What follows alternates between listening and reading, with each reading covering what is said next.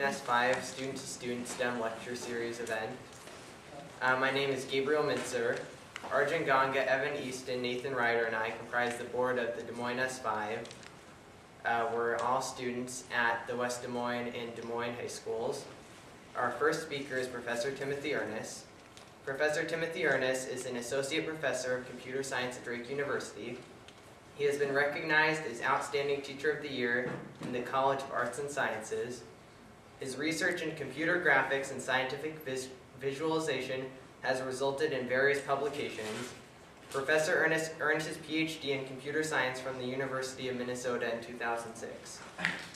I met Professor Urness when I attended his app camp several years ago. I found him to be an interesting speaker, engaging and knowledgeable. Professor Urness will take questions after the presentation. And now I'm excited to introduce to you Professor Urness. Thank Gabe. Thank you for coming. I'm excited to be here. Um, today we're talking about uh, visualizing scientific data with uh, computer graphics. So um, the basic idea here is to kind of illustrate some visualization principles and why you should visualize data in a certain way and not in other ways. I'll talk about things I've worked on or are currently working on. And then also um, talk a little bit about STEM education, what it is to get a PhD or a master's degree and, and that sort of stuff as well. Um, then finally, some concluding remarks. I'm going to aim for about 35 minutes or so. If you do have questions, um, feel free to, to, shoot them out while, while they, they, they come to mind. So um, we will take it from there. All right, so um, the question here I want to start talking about is how do we represent data effectively? How do we visualize data? Um, because it, can, it's possible that you could represent data in a misleading way. And we don't want to do that. We want to be kind of true to our scientific approach here. We want to do what's called uh, graphical excellence. It gives the viewer uh, the greatest number of ideas from our data in a short time with the least amount of ink or pixels um, in a small amount of space. It's always, almost always multivariate in nature. Um, it requires telling the truth because it is possible you can be misleading with graphics or data if you want to be. Right? So here's something actually from um, the New York Times back in the 70s they talk about these fuel economies, right? But they lie. This graph is like cheating.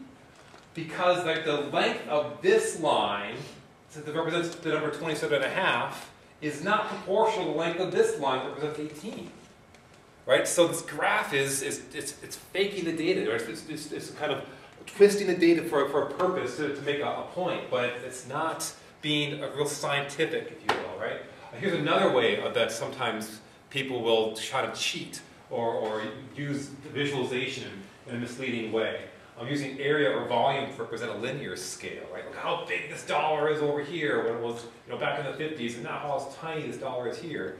Well, it's a linear scale. It's a, a dollar versus 44 cents. But using both the width and the height, and they're scaling both of those. And so this dollar is actually a quarter of the size of this one, not just 40% of the size. Um, another kind of way of using the width and the height uh, in a misleading way. Don't do this. This is, this is you know, not scientific, right? This is uh, propaganda type of stuff.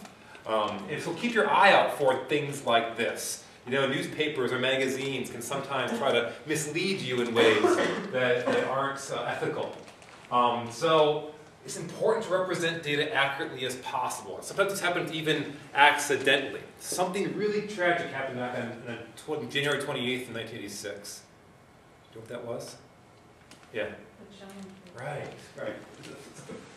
Uh, so also, um, nine years ago, I guess, right, the, or 20, 19 years ago, wait a second, let me do the math right. Right, back in 1986, the Challenger exploded because of, uh, it was launched and it was too cold, and these uh, O-rings leaked and, and, and it, it, caused a problem, right? And so then, then we lost a, a Challenger, this explosion, and the astronauts aboard as well. Sadly enough, when I did this for my students just a few months ago, they didn't understand, they didn't remember what happened back in the 80s. So anyways, um, so the engineers that designed those rockets initially opposed launching on that date. It was cold, they were worried about it. They initially said, wait a second, I'm not sure. They faxed these charts to NASA, they scrutinized these charts, they scrutinized the data. They had the data to make the correct decision, but they made the wrong decision because it wasn't understood correctly. Right, here's one of the charts that they had.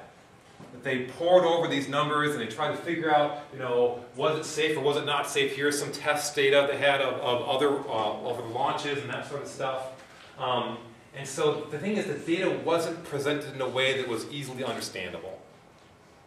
And that caused them to make a bad decision. Instead, a graph that might have helped, and of course this is in, in retrospect and hindsight, um, it's a lot easier to make these decisions, but here's a graph that might have helped. This is a guy, Edward Tufte made this graph that said, okay, here is the temperature we're launching at, here are all the other launches, and here is an indication of all the damage that occurred to these O-rings and other launches. So if we kind of you know, speculate what happened here, um, this is foreseeable. We had the data to make the correct decision, but it wasn't quite visualized correctly at the, at the right time. So visualizing data effectively is important.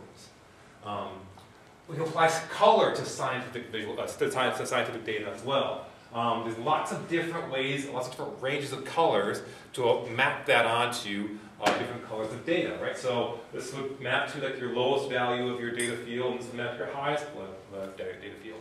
You can have any color spectrum that you want to. And in fact, you, know, you can create lots of really ugly scientific pictures if you want to, using lots of different color mapping scales. Um, it turns out some of these are more effective than others.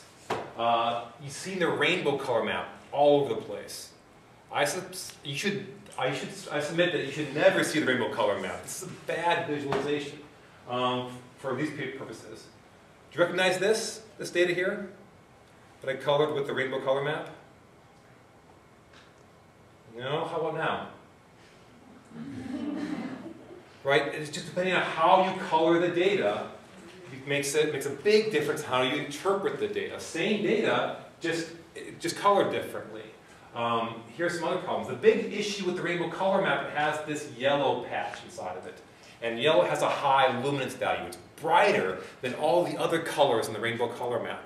And so you're kind of predisposed to have this highlighted version of your data that exists, even though it's unintentional. how It happens to, to land at this point in, uh, in, in space on your data field. So you have this kind of artificial highlighting region, which is unintentional in most cases.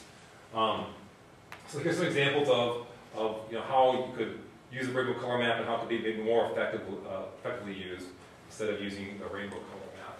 Uh, weather maps drive me crazy, right? Because they're kind of already kind of pigeonholed into using this rainbow color map. They've been using it for, for decades.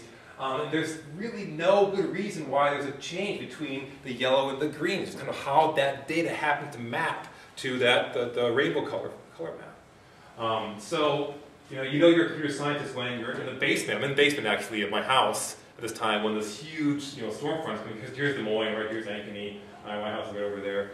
Um, but I'm taking screenshots because I'm furious at this, this, this color map that's being used. It's not effectively representing the data very well. Um, so what color map should you use? Well, there's lots to choose from that will be better than the rainbow color map. But it kind of depends on the application the audience, uh, on the audience. A heated object color map has a lot of nice properties associated with it, right? It goes from black to white kind of this range here. One of those nice properties is that, right, the luminance value, the brightness value goes from low to high consistently through the entire color map. So in general, you should try to look for color maps that, that do that effectively. Otherwise, you might be misrepresenting your data. Does that make sense? Um, other issues with color is this thing called chromostereopsis. What it basically means is that different colors hit the back of your retina a little bit differently at different uh, convergence points. And so red and blue are kind of on the opposite spectrum, literally the, the spectrum, and so the longer wavelengths kind of come forward and the shorter wavelengths appear to recede. Uh, so those two colors, at least to my eye, looks like the red kind of popping off the screen a little bit, right? And the blue is kind of fading inside the screen a little bit too, right? This is just how our eyes work. And so you have to be careful as well if you're using red and blue next to each other. You might have an unintended depth perception happening there, right? You don't want to do stuff like this, especially on slides. Um, uh, so we talked about luminance. Luminance is basically the measure of the amount of light underneath it. So here's a nice integral sign if you want to be really, really technical about it. It's basically how bright stuff is. Um, so there's a thing called equiluminance, right? Colors could have the same apparent brightness even though be different colors. And um, you get a lot of depth, a lot of cues, like from stereo or occlusion um, from motion from luminous or from luminous values. And so I don't know if you can read that, but this would be a really bad thing to do, is to have the background and your foreground have the same luminance values. Right? There's, they're different colors, but they have the same apparent luminance value, so it's really hard to read. Can you read that, actually? Yeah, it says this could be a very annoying choice for text color. Uh, because the background and the foreground have same have similar properties. Um, right, so same with rainbow color map. Don't use uh, colors like deep red and, uh, and, dark blue, bright red and deep blue for chromostereopsis purposes. Um, and we do visualize data, and we visualize data in lots of different walks of life. Right? Your magazines, your, your newspapers do it. You can do it in the scientific field as well. Um, when you do collect some data, this is a quote uh, from a, a famous uh, book a little bit ago. Um, after a person has collected data and studied the proposition with great care so that his own mind is made up the best solution for a problem, he's had to feel that his work is done. It's not, right? Because when he's made up his own mind, it's only halfway done. The more difficult part is to convince the minds of others of the same conclusion. Right? This is nothing new under the sun. This is over a century old right, of, of using printing. But now we have the same kind of onus on uh, visualizing data and presenting data uh, now within the digital world. Um, so getting information out of itself is not all that useful, right? We've got lots and lots of data, big data happening. We're collecting data all over the place, cell phones and YouTube and all sort of stuff. But the getting information isn't all that particularly useful. What is useful is making sense out of it. Can I analyze it appropriately? So understanding and communicating or visualizing information is the key. So number 11, cells can't always speak for themselves, so we want to visualize our data to make more sense out of it. Tables and graphs are usually really good ways of communicating that data. Um, problem is that not all the tables and graphs that we create are very effective. Right? So here's one. I suspect that you know we've made lots of graphs kind of like this. It's really easy to do on computers nowadays. But this isn't a really, it's not a very effective visualization. Um, it's dramatic, it's colorful, it's, it looks nice, it's three dimensions, but it's, you know, what can you glean from that diagram, right? Is that good news and bad news, or bad news? Are sales getting better or worse? Can you, how can you relate these figures to, to quarters and that sort of thing? What would have been better would be to actually put the numbers in a table. I can ask a lot more interesting questions from this representation of the data than I could from that three-dimensional red, green, and blue uh, data. Um, so this would be a better representation. It's not quite as flashy, but still more effective. Here's another uh, visualization. Um, so this is like favorable or unfavorable views of the United States, and Brazil and their percentage, and Mexico and their percentage, and, and just a really poor layout. It's hard to get any sense of any trends whatsoever with the data represented this way. Same data, different layout, much more intuitive, right? And I can, I kind of see um, favorable or, unfavorable and see kind of the perception of the United States a lot more easily just changing how the data is represented. Pie charts. I hate pie charts. Um, they're all over the place because the people I think think that they represent the data effectively, or they make, make them three-dimensional pie charts. Right? Microsoft Excel can do this really easily. Um, right, so here's a Dilbert cartoon.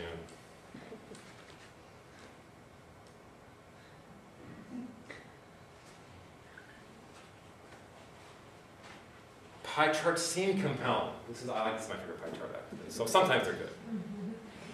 But um, you should generally avoid pie charts, and here's the reason why. The human eye is not really good at estimating area of pie charts.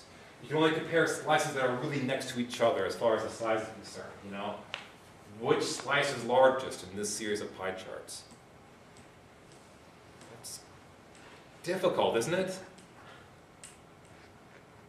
Right, but if I represent the data this way, it tells a much different story. A much more compelling story in my estimation. All right, so um, tables and graphs are usually the best way to communicate quantitative information, right? Students have been trained to do this effectively. It seems intuitive, but it's not really intuitive. It's really easy to find data represented poorly. Here's an example of really bad data visualization. right? It's, it's looks really, really flashy, but really does a poor job of actually representing any of the data effectively at all. Um, so I blame Microsoft, which is my general platform, is to blame Microsoft whenever thing goes wrong. Um, that was supposed to be funny. Actually, you know, when the PC was introduced, there was a, a program called Lotus 123 that made charts really easy to generate. And because it was easy to generate, people thought they were visualizing effectively. Um, that's not necessarily the, the case. Um, so just be conscientious is kind of one of the take-home messages for, for us right now is be conscientious of how you represent and visualize and absorb data. Um, I think that visualizing data and creating charts is a lot like drawing cartoons.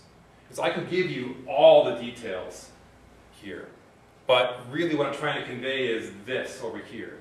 If I want to just convey this over here, it's my job as a, data scientist kind of tell you, to paint the right picture so that it's really obvious what I'm trying to get you instead of uh, giving you all the data itself. Um, so tables, we talked about those. One thing, about, nice thing about tables is that it's really easy to, to look up individual values. Uh, so this is potentially a really uh, effective way Again, it's not very flashy, but it's effective. You use graphs when you're trying to display trends and features. So this would be, you know, when you're trying to do a timeline on the bottom here, is a good way, your visual system then can kind of detect trends and features. I can say that, okay, domestic sales seem to increase, international sales are, are staying steady. There's a dip in August that might be explained by, you know, people going on vacation in August or something like that. But I can see those trends really effectively using graphs. It might be harder to do in a table. Um, I'm going to keep on moving past this really quickly. I want to talk a little bit about more visualization principles. When we look at an image, um, our eyes tend to see this familiar shape, and our minds quickly categorize that into a pattern. so what's this? It's a rose. Do you see anything funny about it? Do you see a dolphin? Aha, now you do, right? But when you initially got the picture, you categorized it as a rose. It wasn't until I pointed out the dolphin. The dolphin is right here. It's the fin. There's the nose. There's the, the dorsal fin there. Right. So there's the. You see it now? There's the dolphin. Right. So when we look at the image, our eyes kind of quickly categorize that shape. Um, they work. Visualizations work best when they display information as patterns that are familiar and easy to spot. Um, similarly, memory plays a significant role when you're visualizing data. Working memory is pretty limited. We typically only remember the elements which, which we actually visually focus on or attend to. Pay close attention to this picture. All right? Now, what did I change? Ah, somebody caught it. Was it? Yeah, very good. How many see anything different? I got one person back there, and I take that and try, try, try again. Right? Most of you weren't paying attention to the trees behind the object there. But now once you're actually attending to it, now you can notice the difference. Right? So when you're creating visualizations, it's important to right, make familiar shapes and also make sure the students are, are, or the people are taking attention to what you want them to. Um, right, working memory, we don't see clearly things, we don't focus on it All right, so that's kind of visualization principle stuff. I want to fly through lots of different things that I kind of worked on and give you a flavor of some computer science and scientific visualization research. Um, my dissertation, the thing that I created to get my, my PhD was on flow visualization. We were trying to focus on how can we effectively visualize variables related to turbulent flow, to better understand why we have turbulence. Really complicated problem. So we have lots of different variables we're trying to visualize all at the same time. We've got the flow of the, the wind over the airplane wing, for example. But in addition to that, we've got these variables called Reynolds shear stress and swirl and vorticity components and this out-of-plane vector component. All those things we want to visualize at the same time to get a better sense for how they all contribute to these vortex packets and, and what causes uh, uh, turbulence. So it's highly desirable to create images that allow for all those different distributions to be visualized at the same time and in the context of all the different distributions. So I'm going to put all those pictures together and, and get a way that I can kind of get a better picture for this turbulent flow. So the first thing I did is I got three different variables here. I kind of glued them all together and put the color on top of each other. And I got this. I showed this to the aerospace engineers at the University of Minnesota, and they said, well, what the heck does that mean? Why do I have red and green mixing together to get yellow? Well, this is what happens with light. When, red light is combined with a yellow light or with green light, it turns yellow. But that wasn't that satisfying, so I changed the color, how that mixed, and still not quite really all that compelling. Got this muddy brown color here. And the issue is, if I have lots of different colors on top of each other, they really muddy the waters. I can't say that in here it's a mixture of lots of different colors, right? There's red and there's blue and there's orange and there's green that constitute this grayish patch in the middle. So what we did is ask the question, how can we have this combination of colors effectively represented? We create up this program we call color weaving. You see like in, in fabric, those two, two strands can maintain their color integrity when they're woven together. And so we did that same sort of approach with our flow visualization. And so now I can basically, each strand of these guys is going to maintain its color, and now I can see that there's a, a high, rich mixture of different distributions in that center panel. See what I mean? All right, so um,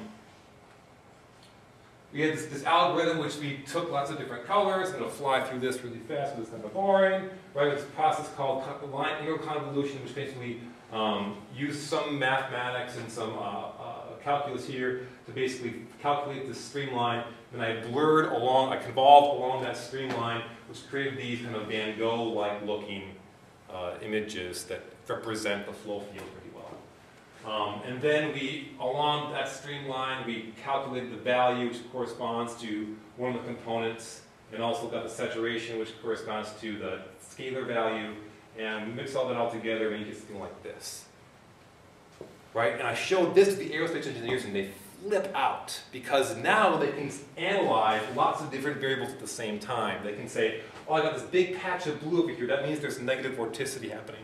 And right above, a patch of positive vorticity in the red. And there's this Reynolds shear stress stuff happening in the green.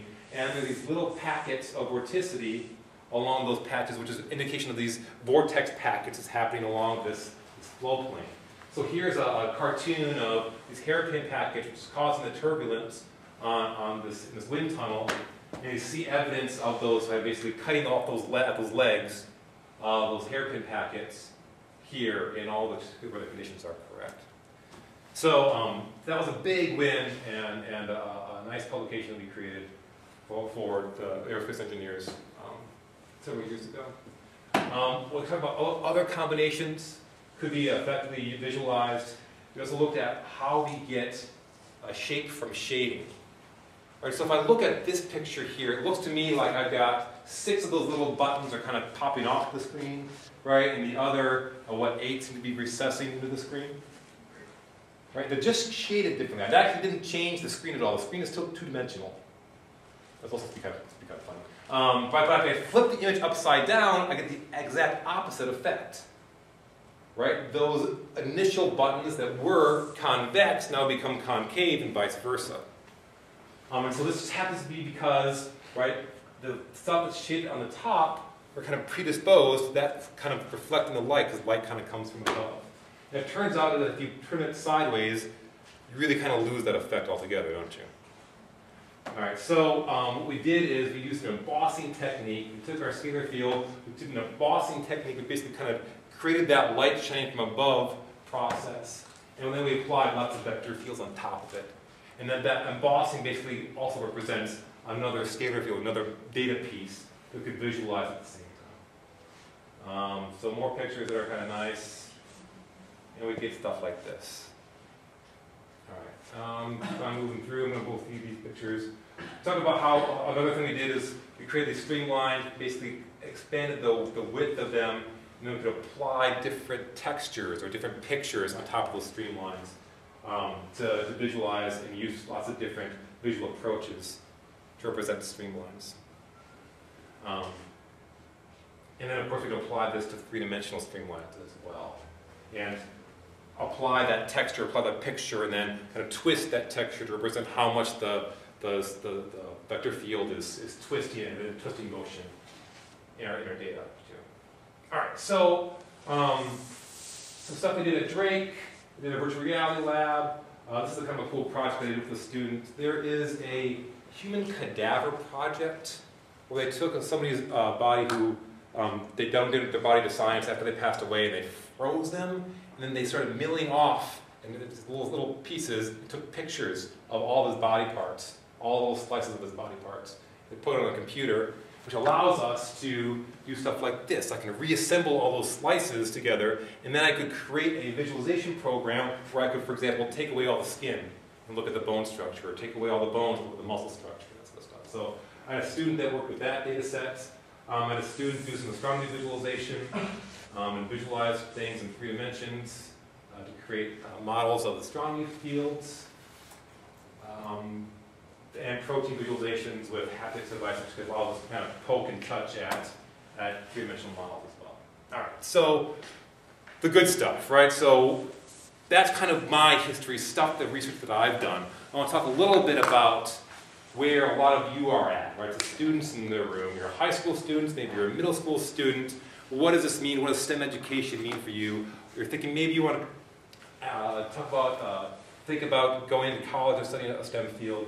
Um, so, so I want to talk a little bit about how to pick the right college. So eventually, many of you are going to go and do some college visits, right? You're kind of going to go to one of these schools and try to see if the right, it's the right college for you. And so the thing that I would, I would suggest you do is talk to professors, you're going to put a lot of money into this decision. This is a, your education is going to be a lot of money here there.